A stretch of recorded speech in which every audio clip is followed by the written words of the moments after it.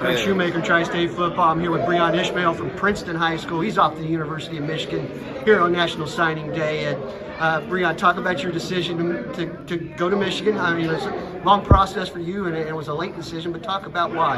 It was uh, I had a process. It was a process to, um, for to committed to um, Michigan, and I went up there. It was a great place, and my mama felt like it was home. So I felt like it was home too, and I felt like I could be there for my next four years.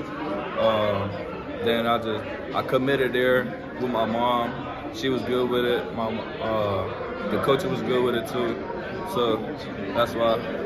You made a you made a, a, a difficult decision this year. After all your years of playing at Hamilton High School, you take your senior year and you move to Princeton. So many, so much love at Hamilton for you. How tough was that decision, and why did you make it? It was very tough to move out of um, Hamilton district. So uh, I think I was about to, I was gonna say because because I, I moved to Princeton because of education and stuff. To get my G- GPA higher and stuff. To take school more serious up there. Because um, at Hamilton. I ain't do that. I ain't take that. I ain't get that much credits or something.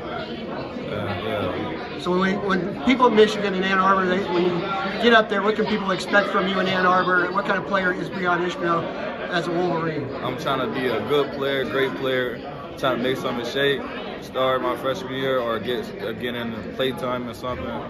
Trying to do my best, be humble. That's all. There you go. That's Breeon Ishmail. He's off to Michigan. He's from Princeton High School. He's a fine linebacker.